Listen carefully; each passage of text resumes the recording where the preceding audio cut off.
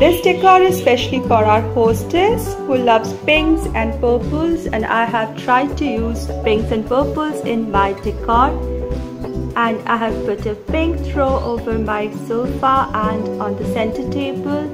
As the light source I have this purple recycled bottle candle holder.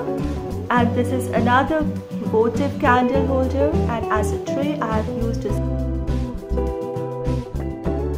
semicircular mirror. In the base I have a mix of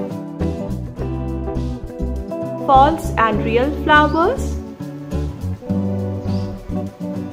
And the hues that she loves. I always love fairy tale books. And I just got this pink and purple fairy tale books. 365 stories and rhymes for girls. A little beads, strings again in pink. This belonged to my daughter and I think this really looks nice. This color combination I don't really use but I really like it this time in my home and this is so cheerful and happy.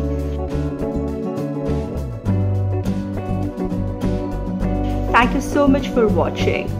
Have a lovely day.